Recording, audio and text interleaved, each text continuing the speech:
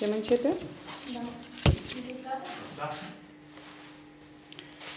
Stimați cetățeni, stimați reprezentanți ai mass media, bună ziua!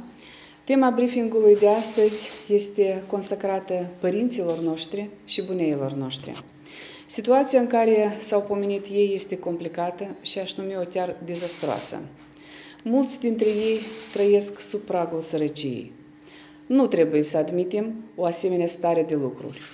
Este o rușine pentru stat că nu poate asigura o viață decentă celor care de fapt au construit acest stat. Eu și echipa mea venim cu o serie de măsuri concrete și foarte clare, menite să schimbe radical situația persoanelor în etate. Partidul politic Șor, după cum cunosc toți cetățenii, este o formațiune cu un pronunțat caracter social. Echipa noastră s-a afirmat ca un partid care construiește, care este axat pe soluționarea rapidă și calitativă a problemelor cu care se confruntă cetățenii. Unul dintre pilonii de bază din programul meu electoral, Moldova 2024, este fortificarea și creșterea asistenței sociale, în special pentru pensionari. Am în vedere, în primul rând, creșterea pensiilor, extinderea asistenței sociale și oferirea mai multor facilități bunicilor și părinților noștri. Îmi propun pentru următorii patru ani ca împreună cu echipa noastră să implementăm la nivel de stat programe și politici clare care să facă mai ușoară viața părinților noștri, viața persoanelor în etate. Stimați concetățeni, programul meu de acțiuni, care a fost elaborat în comun cu Partidul Politic Șor, presupune pentru pensionari stabilirea pensiei minime de 5.000 de lei. Sunt sigură că odată cu relansarea economiei, conform programului nostru, Moldova 2024, care presupune construcția fabricilor și uzinelor de stat, asigurarea unei agriculturi performante, fortificarea rolului statului din punct economic și financiar, dar și instituirea monopolului de stat la importul și comercializarea produselor de tutun și alcool, statul va avea suficiente venituri la bugetul de stat pentru a acoperi această sumă de minimum 5.000 de lei pensii pentru pensionari. La fel propunem ca pensiile să fie indexate în funcție de inflație reală, iar tuturor pensionarilor să le fie acordate compensații lunare de 1000 de lei pentru alimentare.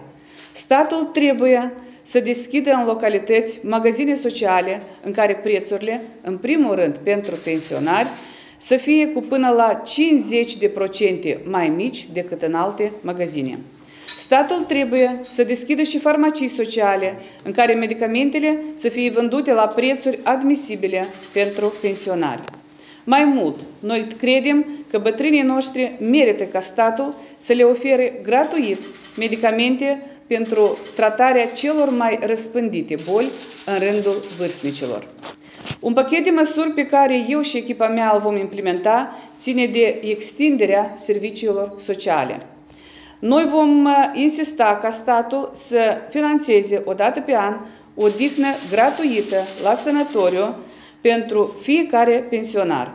Să fie garantată asistență individuală fiecare persoane singuratice. Propunem ca pensionarilor să le fie asigurată asistență juridică gratuită în instituțiile de stat. Stimați cetățeni, o altă prioritate în politicile de stat pentru, pensionari, eh, pentru persoanele în etate se referă la acordarea facilităților. Astfel, printre acestea se numără alocarea unor servicii de până la 50% pentru eh, valoarea facturilor la consumul de apă, gaz, curent electric sau la cheltuielile pentru cumpărarea lemnelor, cărbunelor în perioada rece a anului. Ce ține de petrecerea timpului liber, Cred că statul trebuie să amenajeze și case de deservii sociale pentru oamenii în etate, mai ales în orașe. Vom extinde îndrăgitul proiect pe care îl așteaptă foarte mult seniorii noștri, proiectul Vârsta de Aur, și vom face eforturi pentru crearea cluburilor de socializare pentru pensi pensionari în orașe, în sate și în raioane. Vom iniția inițiative și le vom lansa astfel încât accesul pensionarilor în instituțiile culturale să fie gratis.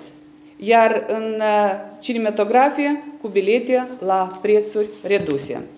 Sunt acțiuni care pot fi implementate dacă statul este preocupat cu adevărat de problemele pensionarilor.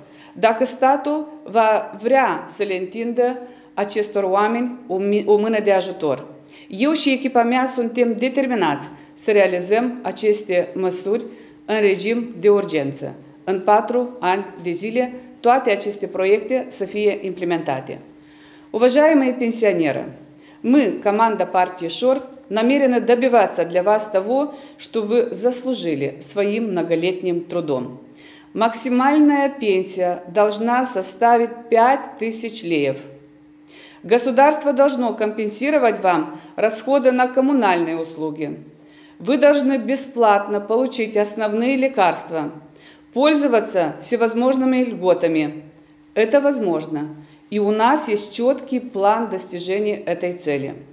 Вы знаете, что забота о пожилых людях всегда была приоритетом нашей команды, команды партии ШОР. Мы предложили снизить пенсионный возраст. Мы добивались повышения минимальной пенсии, поддерживали работу социальных магазинов.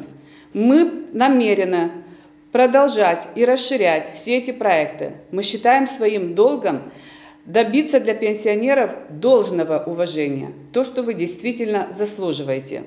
Это одно из главных направлений моей предвыборной кампании. Пенсионеры достойны лучшей жизни, и мы это обеспечим. Спасибо за внимание. Vă mulțumesc mult!